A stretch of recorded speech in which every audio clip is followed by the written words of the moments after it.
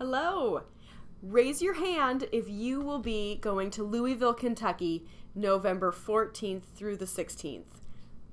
Black Rabbit Books is we will be at the American Li- Association of School Librarians National Conference this year, and we are hoping to see a lot of you there.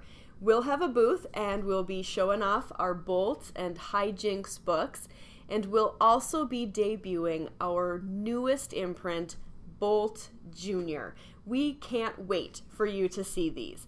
They're infographic nonfiction books for your kindergarten through third graders. So make a note to stop by the booth and check these out. Um, we really hope to see you at AASL. Stop by the booth and say hi. And if you mention this video, we might just have a little something for you. So we'll see you in Kentucky. Thanks for watching.